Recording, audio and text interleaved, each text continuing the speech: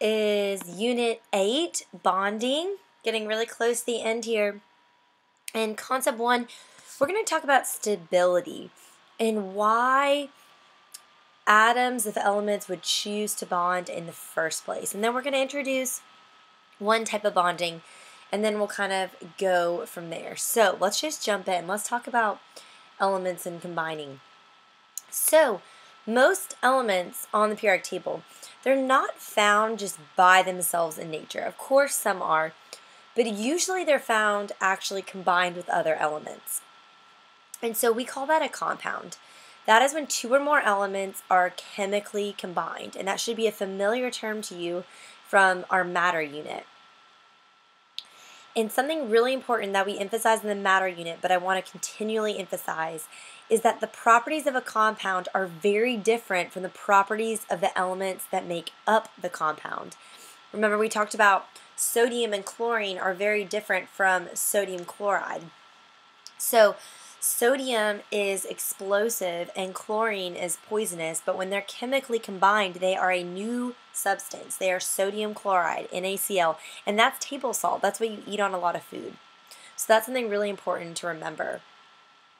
So I just showed you NaCl. That's an example of a chemical formula. So now we're going to talk about what a chemical formula is. It is basically what is used to tell what elements and how many of each element are going to make up a compound. So here are some examples, and I'll just kind of break down what they mean for you, and I'll also show you a picture.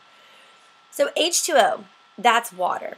What that means is that water is a compound that contains two atoms of the element hydrogen and one atom of the element oxygen. It looks a little something like this. Another example of a compound, um, NH3, that is the chemical formula for ammonia. It is a compound of one atom of the element nitrogen and three atoms of the element hydrogen. And it looks something like this. Make sure these are little numbers for a reason. They're called subscripts. So make sure you write them that way because that matters. All right, so when we form these compounds, why would this happen? This is so important. Elements form compounds because they want to be stable. All elements want to be stable, and here's what that means. It usually means the octet rule. That which states that atoms will gain, lose, or share electrons in order to have eight electrons in their outer energy shell. That's where octet rule comes. So what that means is stability to be stable. That means your outer energy level with your valence electrons should be full and complete. So that means eight.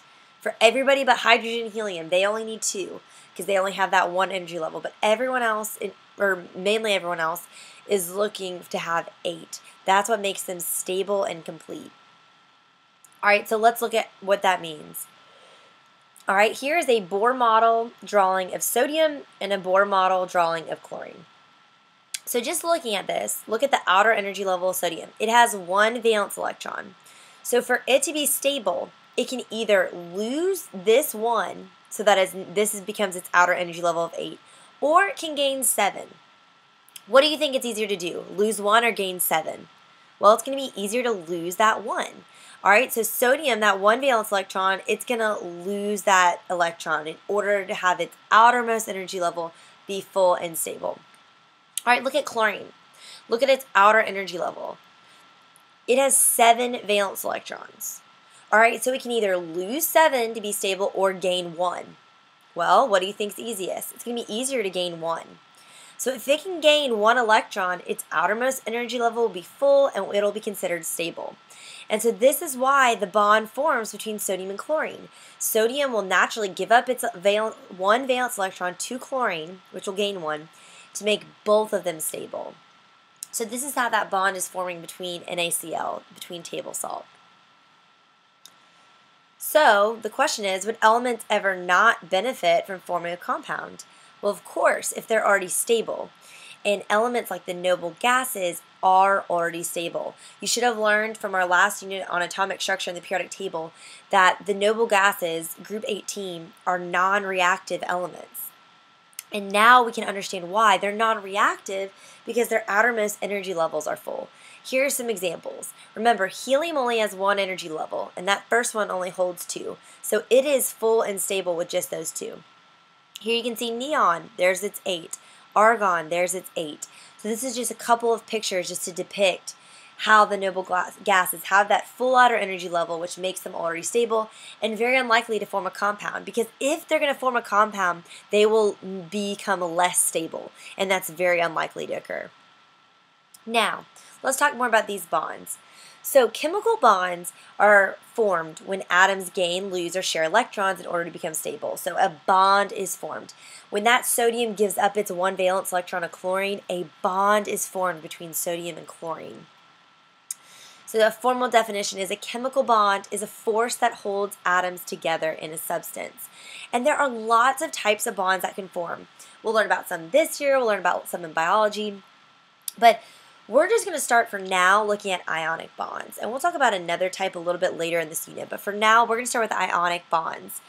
So this is a, the type of chemical bond that occurs when atoms will transfer electrons in order to be stable. So it's usually happening between a metal, like sodium, that's going to give up electrons, and a nonmetal, like chlorine, that's going to gain electrons. So there's a transfer. Remember the picture of the arrow from the sodium to the chlorine. And so when this happens, this transfer happens, we get the formation of something called ions. All right, so what's an ion? Ions are atoms or molecules that have a charge due to having lost or gained electrons. So remember, generally speaking, most atoms are electrically neutral. The number of protons that they have equals the number of electrons, giving them an overall charge of zero. But think of sodium. When it loses one electron, it's gotten rid of one of its negative particles. Thus, it has one more positive than it has negative. So now it's no longer electrically neutral, it has a charge of positive 1. That's what we mean by ions. And there's two types. First are cations.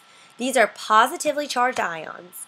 And so they become positive because an atom or molecule has lost electrons. They've gotten rid of negatives, so they are more positive.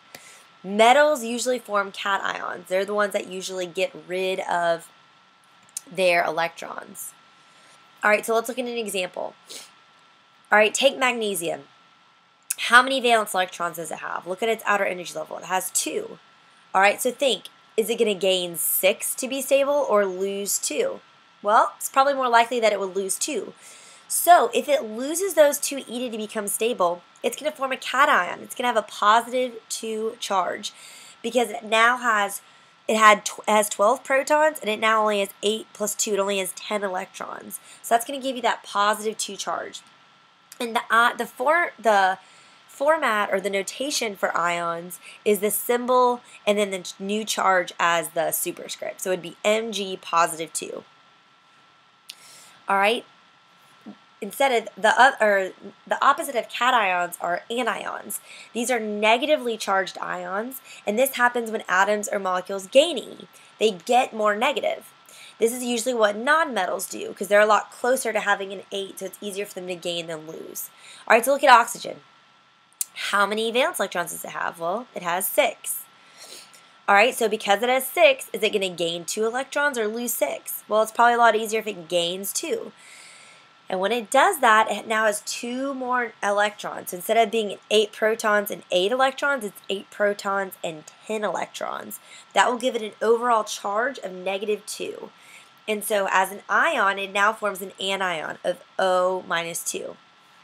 Now, Together in the compound, if this magnesium gives its 2 to oxygen and they form a compound, MgO, magnesium oxide, overall the compound would have a neutral charge because you have the plus 2 of magnesium and the minus 2 of oxygen. That would overall give you 0. But within it, there are these ions. This is what happens in an ionic bond. All right, let's talk more about those ions though before I get too ahead of myself with the compounds. All right, think about lithium. What ion will it form? Okay, look at it. How many valence electrons does it have? It has one. So is it going to lose that one to be stable or gain seven? It's going to lose one. When it lose one, loses one, it's going to become less negative, meaning it's going to be more positive. So since it has a, one valence electron, it will lose it, and that will be, make a cation with a plus one charge. So we'd write that as Li positive one. All right, what about nitrogen? Pause the video, think about it yourself, and then press play to hear the answer. All right, you got to look at the valence electrons. There's five valence electrons, so it's easier to gain three electrons than lose five. So it's going to gain three to get its full outer energy level and be stable. That makes an anion with a negative three charge. And so it'll be N eh, minus three as its ion. All right, now, you may be thinking, this is really tricky. How am I supposed to remember all this? Well, luckily, there is a nice pattern. If you remember from our last unit, elements in the same group all have the same number of valence electrons.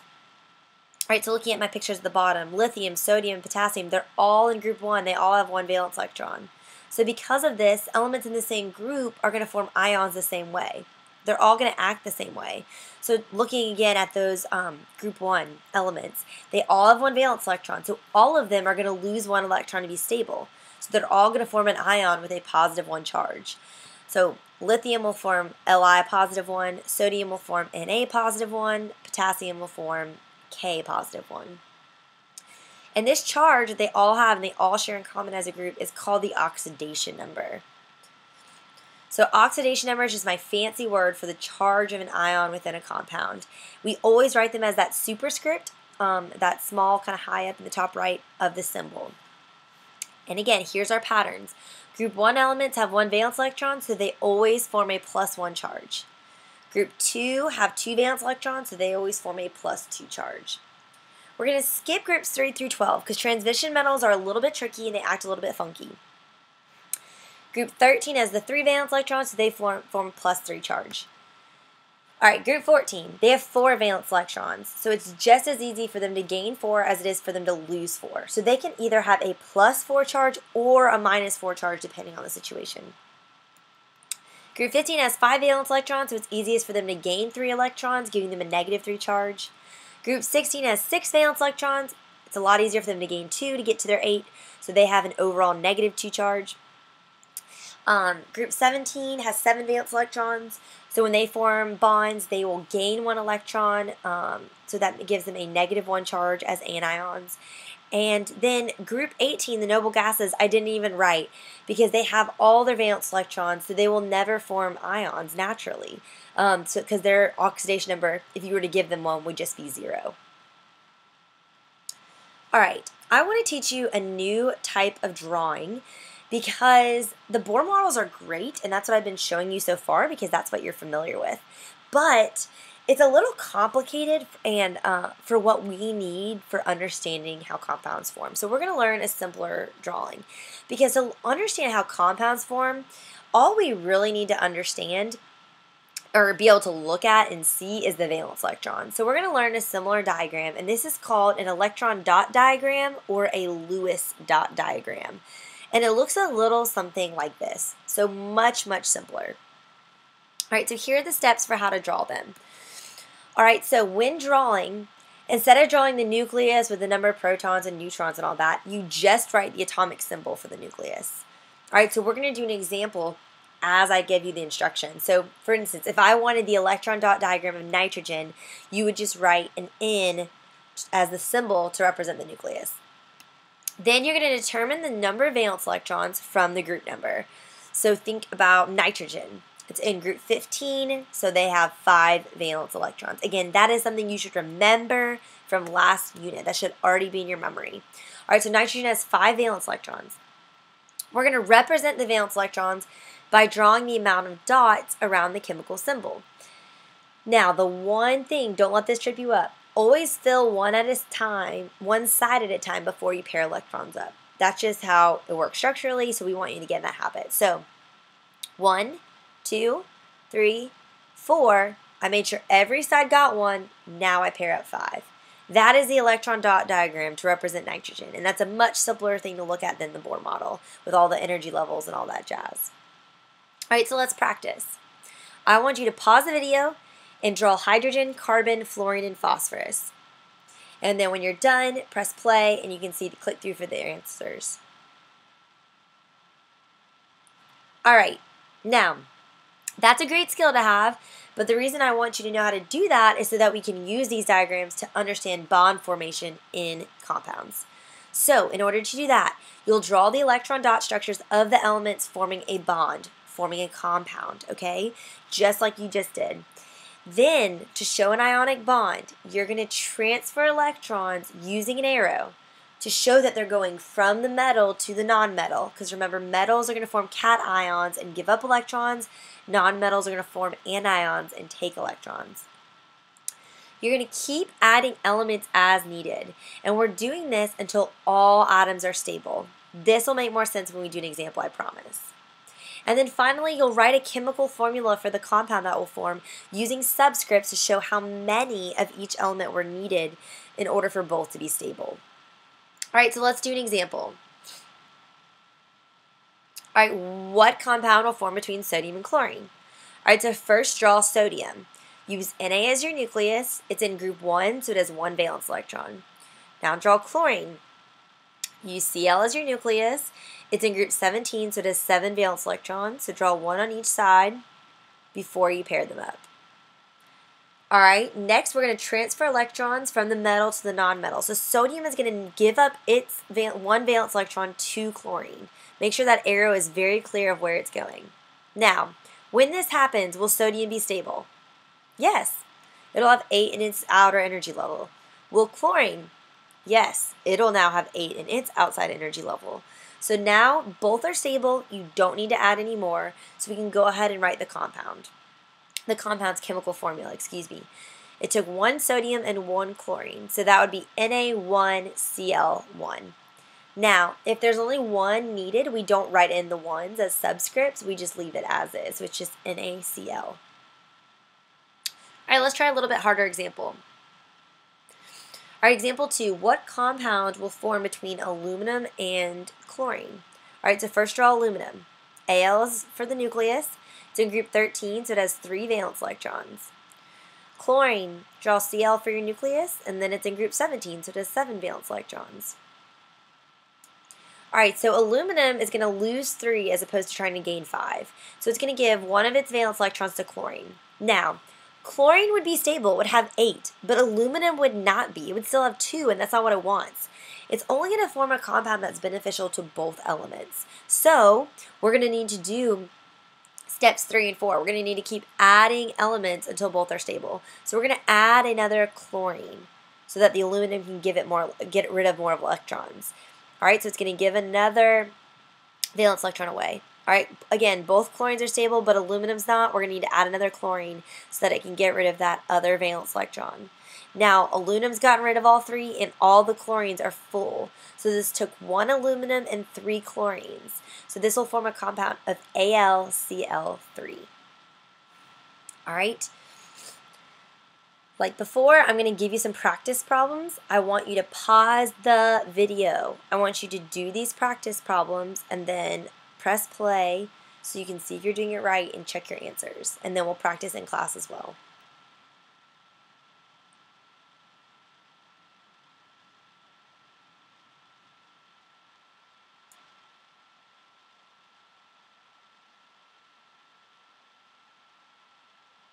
All right, and that is concept one.